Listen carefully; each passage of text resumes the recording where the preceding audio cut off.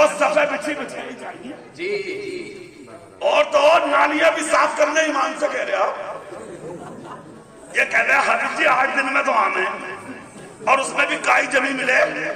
ایسا کر جمعرات کے دن اپنے کپڑے اور دے جا کر حبیب جی کو بولے ذرا ان میں بھی پانی نکال دیو۔ بے شرم بے حیا کہیں کہ آوارہ۔ یہی تو تمام وجہیں ہیں جو تم ذلیل ہو گئے۔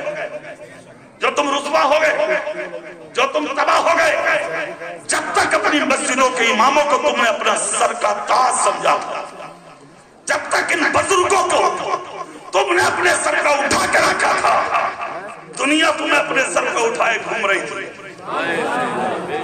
ایک دن میرے آقا مسجد نبی میں تھے ممبر شریف پر کھڑے تھے میرے رسول۔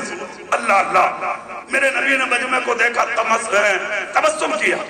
اور اس کے بعد اشارہ کیا میرے بلال میرے قریب آ جاؤ حضرت بلال قریب آ گئے۔ اللہ اللہ۔ جیسے یہ قریب آئے میرے سرکار نے قریب کر کے حضرت بلال کو فرمایا بلال کون سا عمل چھپ کے کرتے ہو؟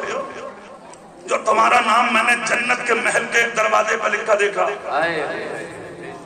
اور وہ بھی ایسی جگہ جہاں میرا محل وہی میرے بلال کا محل۔ ہے اتنا جب کہا تو گئے حضرت بلال۔ نبی کہتے ذرا کھڑے تو ہو جاؤ۔ ہزاروں کے بیچ میں کھڑا کیا تاکہ دنیا سمجھ لے میرے بلال کی عزت کا حال کیا۔ کھڑے ہو گئے حضرت بلال۔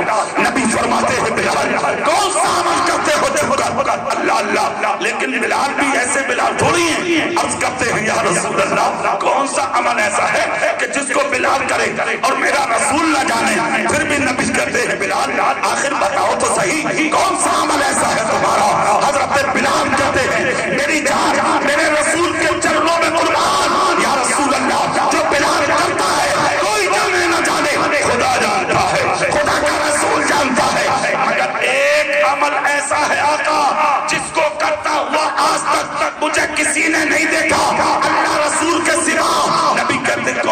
کا عرض کرتے آقا جب آپ کی مسجد میں ادان پڑھ دیتا ہوں نا فجر کی، تو جتنا فرد جماعت کے اور ادان کے مابین مجھے ملتا ہے، میں اپنی آنکھیں آپ کے حجرے کی طرف لگائے رہتا ہوں۔ کب میرا نبی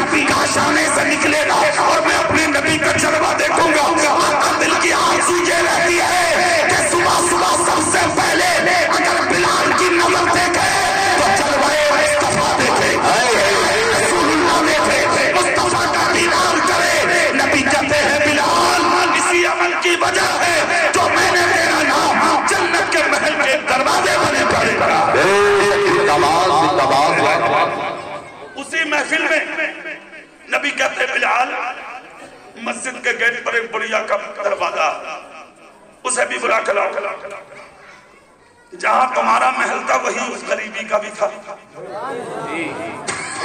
حضرت بلال گئے اور جا کر بڑھیا کے دروازے پر دستک دی نکل کے آئی۔ پہمتوں کی چادر اڑے ہوئے تھے۔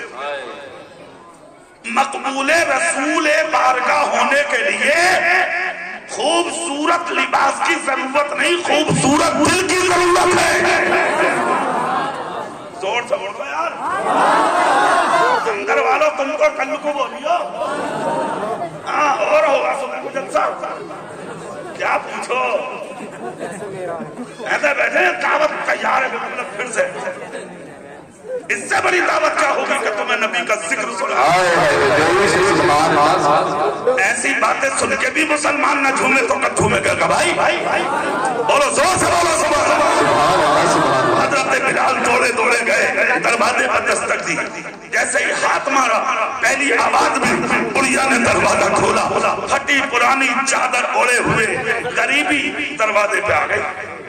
جیسے ہی دروازے بھائی حضرت بلال کہتے ہیں، اے ضعیفہ چل چل، تیرے مقدر کو سلام۔ کہا کیا ہوا؟ کہا، تجھے تیرے نبی نے بلایا ہے۔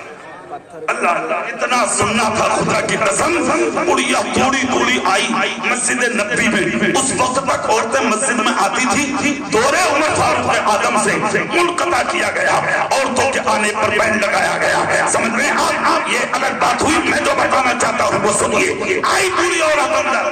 نبی ممبر پر۔ صحابہ سپیچ میں، عورت سائیڈ میں۔ نبی کہتے ہیں ضعیفہ غریبی کون سا عمل ایسا کرتی ہو جس کی وجہ سے تمہارا نام جنت کے محل کے دروازے پر لکھا دیکھا اور اس محل کے دروازے پر کہ جہاں میرے بلاب کا محل وہاں تیرا محل سن کر رو پڑی۔ کہنے لگی، میں اس لائق کہاں غریب ہوں میں۔ بے قصبے سہارا ہوں میں۔ وقت پر میرے رسول کی بارگاہ میں جب اتنا کہا تو صحابہ بھی رونے لگے۔ نبی کہتے ہیں، نہیں سک بتا عمل کیا ہے؟ عرض کرتی ہے، میں جو کرتی ہوں، اللہ جانتا ہے، میرا رسول جانتا ہے۔ مگر آتا ایک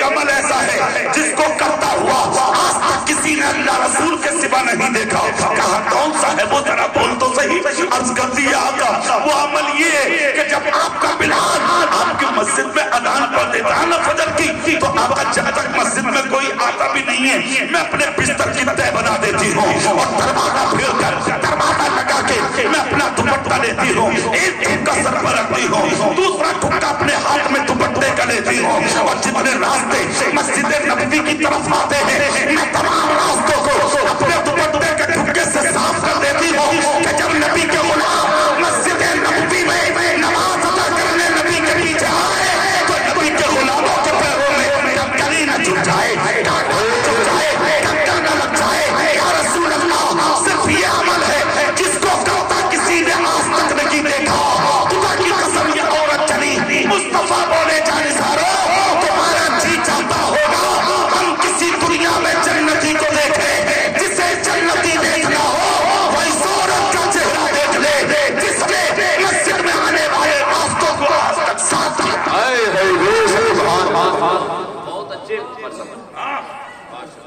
تو میں تو میں تو صفحے بچھی بچھائی چاہیے جی جی۔ اور تو اور نالیاں بھی صاف کرنے ایمان سے کہہ رہے آپ۔ یہ کہہ رہے حبیب جی آٹھ دن میں تو آنے اور اس میں بھی کائی جمی ملے۔ ایسا کر جمعرات کے دن اپنے کپڑے اور دے جا کر حبیب جی کو۔ بولے ذرا ان میں بھی پانی نکال دیو۔ بے شرم بے حیا کہیں کے آوارا یہی تو تمام وجہیں ہیں جو تم ذلیل ہو گئے۔ جو تم رسوا ہو گئے جو تم تباہ ہو گئے جب تک اپنی مسجدوں کے اماموں کو تم نے اپنا سر کا تاج سمجھا جب تک ان بزرگوں کو تم نے اپنے سر کا اٹھا کے رکھا تھا دنیا تمہیں اپنے سر کا اٹھائے گھوم رہی تھی۔ جی۔ حجت الاسلام امام غزالی کہتے ہیں جس نے چالیس مسجد میں چلا چلا کے اجالا کر دیا۔ قبر میں اندھیرا ارے دور سے جگاتے ہو کبھی؟ آتے ہو کبھی؟ جھاڑو لگاتے ہو کبھی؟ مسجدوں کو دیکھتے ہو کبھی؟ مدرسوں کو دیکھتے ہو کبھی؟ خانخواہوں میں آتے ہو کبھی؟